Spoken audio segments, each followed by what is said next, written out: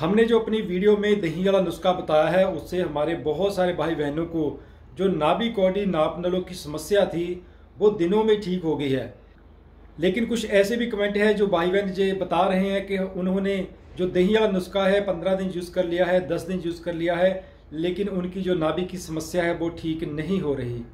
दोस्तों, मैं आपको बताता हूँ कि आपकी जो नाभि की समस्या है वो 10 दिन 15 दिन दही वाला नुस्खा और बाकी चीज़ें लेने से भी आपकी क्यों नहीं ठीक हो रही? क्योंकि दोस्तों, क्या होता है, जे हर एक शरीर का अलग अलग हिसाब किताब है।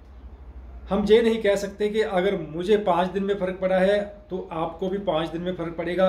हो सकता है आपको एक महीने में फ़र्क पड़े, हो सकता है आपको दो महीने में फ़र्क पड़े। दोस्तों, सबसे जो याद रखने वाली बात है, वो ये है कि आप अपने पेट में गर्मी ना पड़ने दें, गैस ना बनने दें।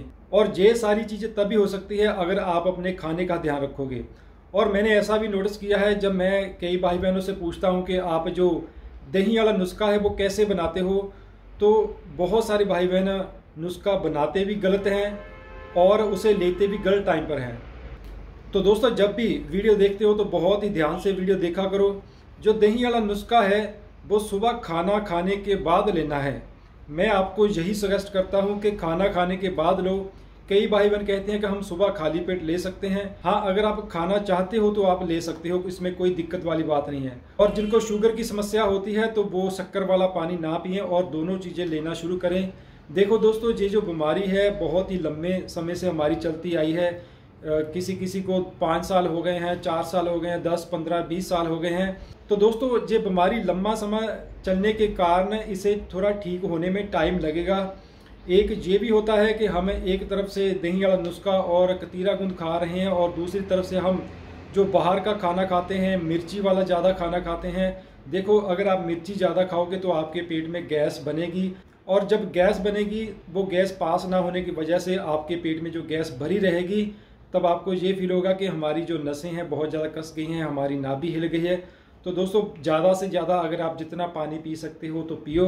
और एक जेलोसिन आती है, मैंने आपको बहुत सारी वीडियोस में बताया है कि जेलोसिन आती है, बहुत ही अच्छी है। इससे क्या होगा, अगर आप एक दो महीने उसे पी लोगे जो सिर्फ़ होता है एक, अगर आप इसे पी लोगे तो आप खाना खाने के बाद हम इसका एक एक चम्मच ले सकते हैं। इससे क्या होगा कि जो हमारे पेट में गैस बनती है, वो बनना बंद हो जाएगी, ठीक है? और खाना खाने के बाद दोस्तों, आप सौंफ और मिश्री का सेवन ज़रूर करें, एक चम्मच या आधा चम्मच। इससे क्या होगा, आपका जो खाना है, वो बहुत ही अच्छे तरीके से और आसानी से पच जाएगा और दूसरा, गैस नहीं बनेगी, ठीक है? देखो, ये बात अपने दिमाग में रखो। आज एक दो कमेंट आए थे जिन्होंने, हमारे भाई बहनों बताया कि हमें फ़र्क नहीं पड़ा। तो भाई, ऐसा नहीं है कि दहिया नुस्खा असर नहीं कर रहा, असर करेगा। थोड़ा इसे टाइम दो इस बीमारी को। और कई भाइयों का खेती का काम होता है तो उनको थोड़ी दिक्कत आती है, क्योंकि उन्हें सुबह सुबह कई बार खाली पेट भी खेतों में जाना पड़ता है कहीं का, कहीं चलानी पड़ती है भारी भारी काम करने पड़ते हैं। तो हम, मैं तो सबसे यही कहता हूँ कि सबसे पहले सुबह आपने अपने पेट को भरना है। अगर आप नहीं भरोगे, तब आपका जो नाभि की समस्या है, वो बिल्कुल भी ठीक नहीं होगी। ये बात अपने दिमाग में रखो कि जैसी बीमारी है, वैसे परहेज करने ही पड़ेंगे।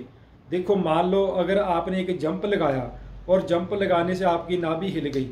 तो आप जंप क्यों लगाओगे?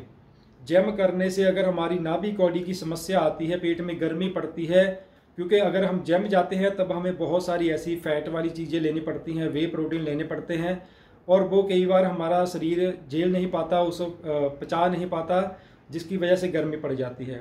तब हम जम क्यों करेंगे? तो दोस्तों, जैसी बीमारी है, वैसे परहेज करके थोड़ा टाइम ही करने पड़ेंगे, आपको ज़्यादा टाइम नहीं करने पड़ेंगे जब आपके पेट की गर्मी निकल जाएगी। खाने पीने की और बहुत सारी ऐसी चीज़ें हैं जिन्हें आप खाकर अपने पेट की गर्मी निकाल सकते हो। अपने दादा दादी के पास ज़रूर बैठा करो, उनसे पूछा करो कि ऐसी कौन सी चीज़ें हैं जो हमारे पेट में से गर्मी बाहर निकाल दें। उनको ज़्यादा पता होता है। तो दोस्तों, उम्मीद करता हूँ कि आपको सारी बात समझ में आ गई होगी। आप ये जो दही वाला नुस्खा है, जो कंटिन्यू करो। दोस्तों, मैं इसीलिए वीडियो डालता रहता हूँ, जिनकी नाभी ठीक हो गई है, कि आपको यकीन आ जाए कि हमारी नाभी भी बिल्कुल ठीक हो जाएगी, ठीक है?